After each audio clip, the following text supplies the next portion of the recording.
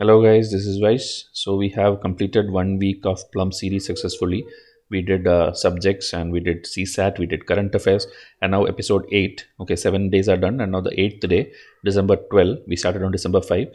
So Monday again, uh, history is going to continue. So last week we did we did ancient history. Today we'll do medieval history. So like that, every uh, Monday I'll try to do a different section of history so that uh, you get complete coverage. Okay. So uh, stay tuned. Daily uh, five MCQs are going to be done, and see to it that you are seeing every teacher's videos. Okay, because geography, environment, polity, economy, CSAT is done by different teachers. So again, mine also. I think uh, maybe history or something will be given to some other teachers based on their time availability. Okay, because most of them are working for us in the other subjects and background works and all. So that is why I cannot assign it now and uh, these uh, many uh, playlists are there free of cost in our channel including previous year questions of prelims and mains see to it that you are watching this. And if you are a serious aspirant you should ideally start with the foundation. And for foundation uh, videos whatsapp me and i'll give you the 25 foundation videos which will actually make you understand that you are going to easily clear prelims by just studying at home with basic books and uh, Vysh IAS's test series alone. Okay. So see to it that you are contacting me. So medieval history mcq number 1 which of the following are true about tukaram maharaj he was a Varkari saint and poet and was a prominent figure in Bhakti movement. He was known for Vachana devotional poetry. Chaitanya Mahaprabhu is considered to be his guru. The options are 1, 2, 3, 1 only, 1, 3 only, and none of the above. So here, this is uh, not asked just as a static question. June month or July month, I think uh, this personality was in news, and that is the reason it's being framed. UPSC always does that whenever maybe a statue is there, or maybe uh, 100th anniversary or 500th anniversary. So like that when uh, a person okay historical person is there in news upsc will ask a static question about that person. So you have to tell me whether these statements all of them are true or something is wrong.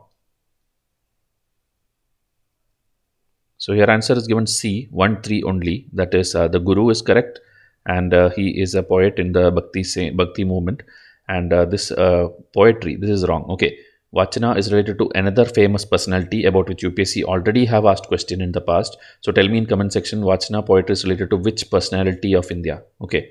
That also is in South India, I believe. So that you can go and check and tell me in comment section. And here, this person, Tukaram Maharaj, is uh, related with another poetry. So that we'll see in the explanation part. So that is called Abhanga devotional poetry.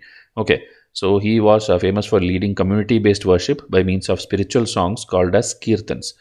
He was a sant of Varkari Sampradaya that has lot of respect for God Vithoba. He was a part of egalitarian, that is equality, personalized Varkari devotion, uh, devotionalism tradition. Tukaram was born in modern day Maharashtra, and this is complete name. Year and uh, death and all is like still in dispute, like year of uh, birth and death. Born either in 1598 or 1608 near Pune. Born to these other parents and these are basic information okay? Gk facts and all upsc usually don't ask but the guru because he's another bhakti saint uh, it's an important thing okay? So that you can uh, note down and uh, this is asked because it is in news okay? Pm modi inaugurated a temple in pune in maharashtra which is dedicated to 17th century saint tukaram maharaj okay? And again some more details are there about this abhanga verse and all. So please see to it that you are studying things like this because UPSC will ask in a certain way and only certain institutes like Vysh IAS understands that. Okay, and we also design MCQs in line with that and that repeats in the question next year. So MCQ number two, which of the following are true about Mughal paintings? Okay, a very favorite topic of UPSC. No miniatures survive from the reign of the founder of the dynasty, Babur. Babur had brought, brought artists Abd al-Samad and Mir Said Ali from Central Asia. Saadi's masterpiece, the Gulistan, was produced during the reign of Akbar. Aurangzeb was never an enthusiastic patron of painting. So, different different rulers in their time how paintings evolved or how architecture evolved. These are a very favorite uh, topic of UPSC. Okay, not only about Mughal Empire, whether it's Guptas or Mauryas, you should know who, during whose time something was flourishing. Okay, some type of culture or some type of art was flourishing. That you have to know about every dynasty. Culture is the most important aspect more than war. Okay, instead of you studying this uh, battle of Plassey, battle of that thing, battle of uh, different different uh, battles which you study, right? Panipat instead of that cultural part of different different rulers is the favorite topic of upsc okay that is my observation in uh, the last few years of uh, uh, solving upsc questions. Okay so options 1 2 3 4 1 3 4 2 3 4 none of these. Meaning either everything has to be correct or at least one has to be wrong or maybe everything is wrong. Okay as per the options given So here, if you are a very serious aspirant, at least NCERT you have read. Okay, at least NCERT class 7th and class uh, 12th uh, part 2 textbook, if you have read, you can solve this question. You don't need any other very, very big, big textbooks to solve this. So here answer is B, 1, 3 and 4 because this alone okay this is not Babur's statement this is somebody else that I'll show you okay. But the um, other three other three that is Babur's time miniatures doesn't exist now and uh, Akbar time only this Gulistan painting was done and uh, Aurangzeb was never interested in painting. Those three are true statements. So if you see Babur no miniatures survive. Okay detailed notes are there so I cannot read everything. The second statement is actually it's not Babur it is Humayun okay so he was the one who brought these uh, artists uh, from Iran. Okay, because you know, uh, 1530 to 1540 he was there. Then uh, Sher Shah Suri will attack, and then he had to run away to Iran. Okay, then from there when he comes back, okay, in 1555 when he comes back, he brings back these paintings, uh, so painters. Okay, so that is why you should know this kind of basic stories. If you know itself, you can solve all these questions. Okay, remaining everything, please uh, pause and read because I have detailed notes. This is Babur and Humayun. This is the entire Akbar's painting time, Akbar and Jahangir. If you see, detailed painting related thing is there. See this masterpiece during Akbar time. Okay, and uh, Akbar uh, translated many things. Okay, many of the Hindu scriptures and all into uh, the Persian uh, language and all. He has changed many things. So many personalities, you know, the nine gems, Navratna of Akbar court, they were all playing a very important uh, role during his uh, timeline. Okay, so you have to know all these things. I cannot read it out entirely. My students who are enrolled to the test series, it will be there. Okay, this will be there in the uh, history test series. Okay, this will be there. And Jahangir, again, if you see, the brush became finer, the colors became lighter. European influence comes because, you know, that is the time when Europeans also came. Okay, the 16th, 17th century. Exactly, if you see, 1605 to 1625 is the time when Europeans, the Britishers were entering India also. So like that, the influence will be obviously seen. Portrait painting started, king and queen paintings, and many uh, life event are there, birds, animals, nature related thing. And then his uh, book okay biopic kind of book. In that also many pictures and paintings are there. So like that you have to know. And after jahangir you know obviously uh, the next person shah jahan and aurangzeb will come. Shah jahan's time again the architecture and everything was at its peak you know even taj mahal was uh, made. So like that his uh, book okay in that also illustrations are there.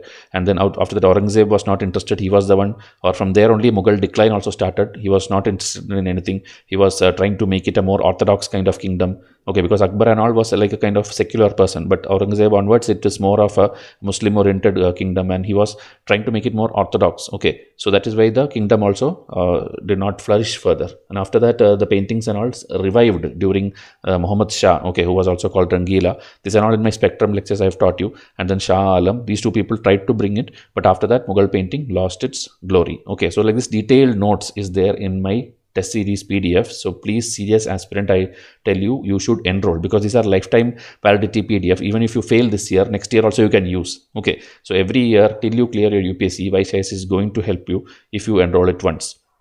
So medieval history question number three about which Indian queen did Marco Polo say the following. First thing is you can go and find out who is Marco Polo, when did he come to India and all these things. So it is subject to queen of great wisdom whose husband died 40 years ago and her love to him was such that she never married again. During the whole term, she has ruled the nation with great equity and has been beloved beyond measure by the people. So about whom did Marco Polo tell this? Options are Razia Sultan, Rudramadevi, Rani Padmini or Devi Ahalya. So again, all these four have been there in UPSC options in the past. So individually, you have to know their timelines. Uh, what are their specialities? Why are they there in the historical uh, context? It is important. Everything you have to know. Okay, it's not like you only study the right answer. You have to always study the wrong answer because that can be the right answer next year. Meaning UPSC will form the questions based on the wrong answers of this year in the next year. Okay, so here answer is Rudramadevi. Okay, so here if you see this particular Google document, Google book is where this actually I found out when I was researching on the question about this uh, Motupalli. Okay, Motupalli port, which UPSC asked. Okay, UPSC asked like which is the most important uh, port of Kakatiya dynasty. Something like that. A question came, a very weird question, and that year everybody were marking Masulipatnam or something as the answer, but it is actually Motupalli which came as the answer key. So I was researching on that PDF, and in that same I found this thing. Okay, about Marco Polo was telling about Rudramadevi in this particular uh, this thing in this particular article. So I thought like why not make a question on that because if UPSC have seen this document once, they will see the document again. They will ask questions again from the same document. So that is how we make questions. Okay, we follow UPSC strictly, and whatever they follow, we also try to follow. Okay, that is why because people ask like, how can 100 plus marks come from your test series? You are just bluffing. You are doing. We are getting this 100 plus marks because we are strictly following UPSC. Okay, we are not just simply following syllabus or textbook. We are following UPSC previous year papers and how they frame questions. Okay, so about Rudrama Devi, Marco Polo had said this Kakatiya ruler, and about Kakatiya kingdom also, South Indian kingdoms especially, UPSC is every year now asking two two questions. So you have to study in detail. Okay, so this again from my test series, students can study more. Okay, so next one, fourth question, which are the following are true about Bada Imambara, about which uh, recently question came in UPSC. So it was built by various rulers of Delhi Sultanate starting from Iltutmish. Its basic design was inspired from the works of Amir Khusro. It was one of the last major projects not incorporating any European elements or the use of iron. Okay, so three statements are given. Uh, question actually about Bara Imambara and I think uh, some red fort or something it came. Okay, even the material used, like uh, it uses white marble, it uses red sandstone. That kind of very detailed question UPSC have asked recently. So you have to know the architectural thing. As I told again, culture. Okay, culture is what you have to study in ancient and medieval more than the battles and wars they have fought. Okay, so options 1, 2 only, 1 only, 3 only, or 1, 2, 3. Okay like who started it, the design, and then the whether it has European influence. This is what is asked.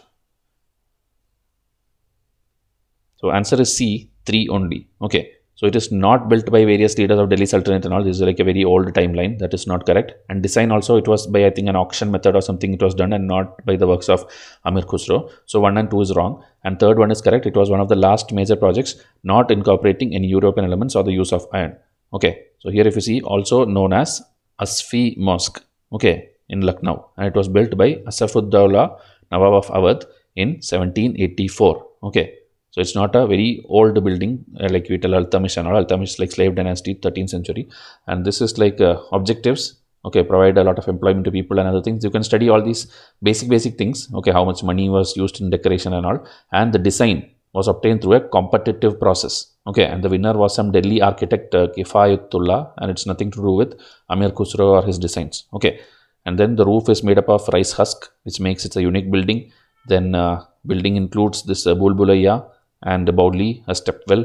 Okay, these are the certain certain things which is there inside this. There's a, a Badshahi mosque, last major projects not incorporating any European design, and then uh, here there's a Rumi Darwaza then two imposing gateways, that is west facing entrance. So these are basic facts which I could pick up. In Wikipedia, you can find it more, but I am taking only the best things which I thought UPSC has a chance of asking. Okay, so this is the detail about Bara Imambara. Last question.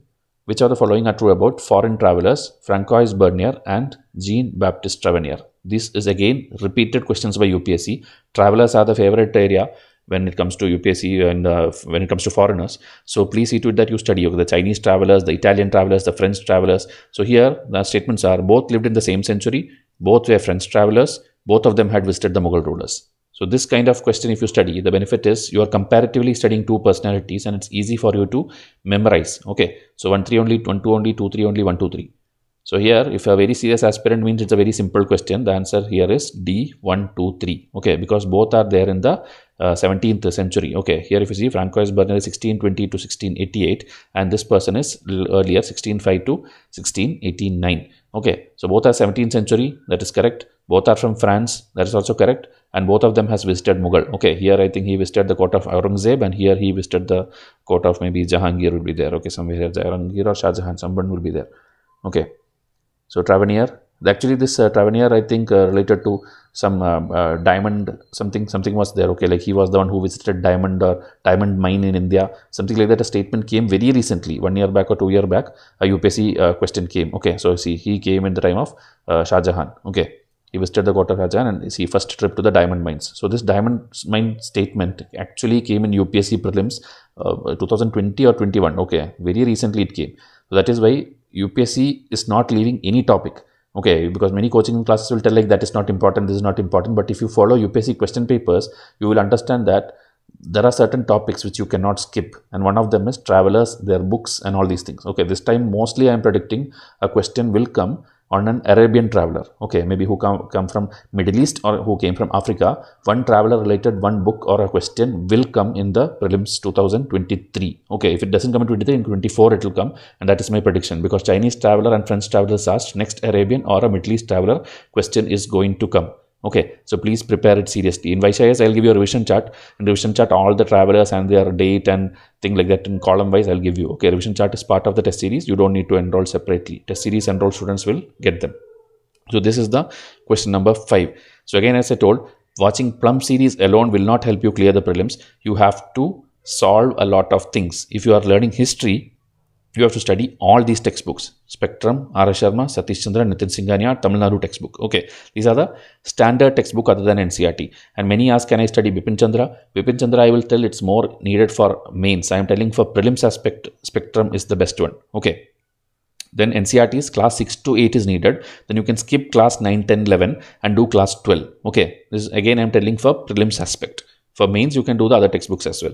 Then world history again for mains. Norman Lowe is a foreign author. Arjun Dev is an Indian author. Both are fine. Okay. Then learn according to timeline. The more easily you can solve questions if you know the timeline correctly. Like if you know Kakatiya came, then the other one came, or then the other one came, or Maurya came, then Gupta came, uh, then Harsha came. After Harsha, the next one will come. So six, seven, eight century like that. If correctly timeline, if you know, and which timeline is Buddha existing, Buddha met who all, or Jainism, Buddhism, are they in the same timeline? If you know timeline, you can easily solve many questions because elimination will be there. Okay, you can easily eliminate. Okay, so please see that you study in timeline, practice the names, chronology, culture, the books by them, and events at the last. Okay, meaning the war and all these things at the last. But this is the order of priority: the names, chronology, culture, books, and then only events. Okay, this is how you study history okay and history we have the highest number of tests in the entire country i can tell okay all the textbook based questions are there okay whether spectrum R. Sharma ncert spectrum uh, this uh, nitin singhania and history full test is also there which mixes up all the questions and give you so 16 test of history is there and as a separate pack also you can buy history because i know most people find history very very difficult that is why i am putting spectrum as separate four test will be there where as i showed you that akbar jahangir explanation or like that every topic will have explanation 400 questions with detailed solution detailed explanation will be there under each question. So Spectrum 4 PDF is there, R. Satish Chandra 4 PDF is there, or then uh, NCERT as I told, 6 to 8 there is one PDF and class 12 there is one PDF. So that two PDFs are there. Then Art and Culture, NCERT Fine Arts, there is class 11th, plus uh, the uh, previous year questions based two test is there. Nitin Singhania based two test is there. Okay, so four test. So as a combo, this together will be 4 plus 4, 8, 8 plus 2, 10, 10 plus 2, sorry, 10 plus 4, 14, plus 2 full tests. So 16 test, 16 PDF uh, that is 1600 MCQs detailed explanation you can buy this combo and that is the bestseller also. Okay because history as i told many people find it very very difficult because lakshmikant is there for polity but for history there are many textbooks that you cannot study everything in a single place. That is why you enroll to Vysh IAS test pdf and as i told it's lifetime validity. Okay it will help you learn everything about history which upsc is going to ask. Okay static part i'm telling. So please see to it that. You are a serious aspirant means you have to join Vysh IAS else again slowly slowly you can study from a plum series because free 5 5 questions will be done. But the serious aspirants who have enrolled will be studying more number of questions than you in a day. That is the only difference. Okay, you are studying little slower, they are studying little faster. Okay, so subscribe and stay tuned. Tomorrow, the next episode will come. Okay, thank you and have a nice day.